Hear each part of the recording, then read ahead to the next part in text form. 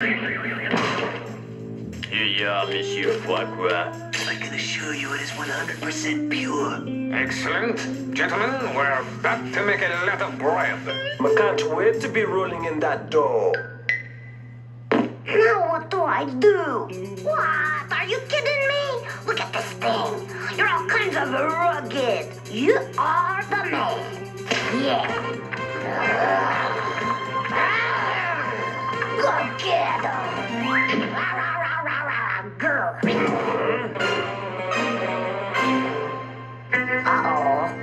Uh-oh. Action, Hank.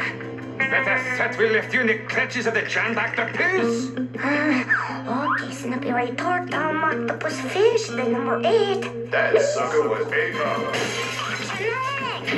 I thought I smelled stubble and trouble, so I decided to drop in. Two action, Hanks. But which one's the real one? Who cares? Get them! Oh, Hank, we're still at the bearded to the world. Quick, throw me a beer.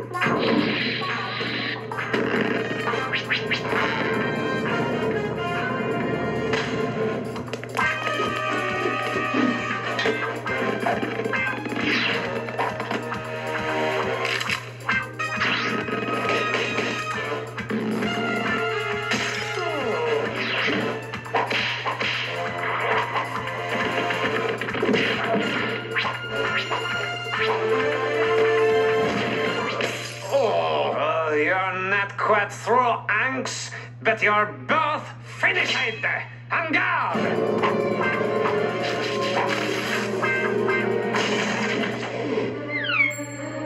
Maybe now you will get my point.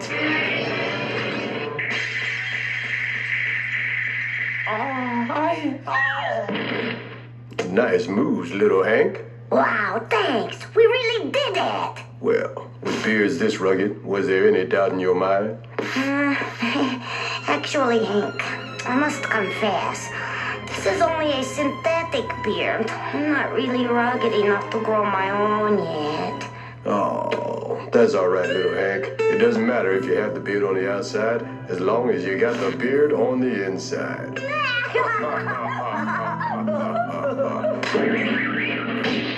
So long, little Hank. So long, Action Hank. There you are. We've been looking all over for you, and Mrs. Claus has been worried sick.